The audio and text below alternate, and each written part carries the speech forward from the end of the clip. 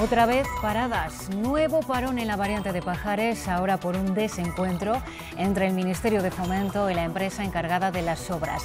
El caso es que el túnel al que solo le falta la mitad norte, del lado asturiano, se eterniza. Suma ya siete años de retrasos y lo que es peor, se ha desbordado hasta los casi 4.000 millones de euros.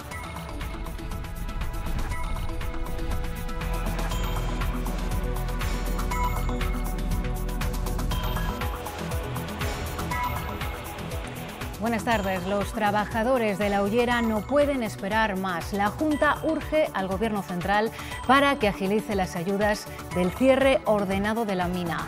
Hoy le ha recordado que no es excusa que esté en funciones y le ha pedido también una reunión al ministro Guindos. El Gobierno, mm, es cierto, eh, está en funciones, pero es verdad que hay cosas que no pueden esperar a estar en funciones. Y este es un asunto urgente. Bomberos de toda España encienden las calles de León para respaldar a sus compañeros de esta provincia que reclaman una ley regional del fuego.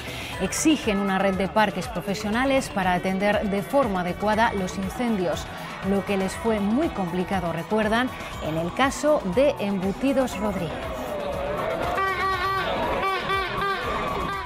Hoy también veremos lo que ha sucedido en Bruselas. Castilla y León ha conseguido el apoyo del Comité de las Regiones para impulsar una estrategia europea que ponga freno al problema de la despoblación. Pero además el suelo de Atapuerca se remueve otra vez en busca de respuestas.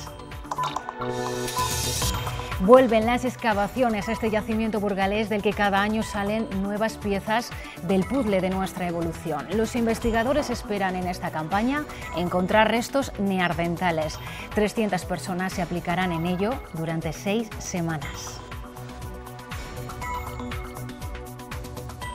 La tarde ha sido de chaparrones y tormentas otra vez y mañana la previsión es muy similar.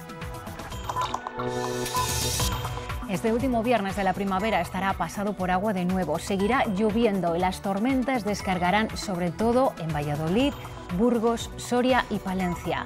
Temperaturas más frescas y también viento.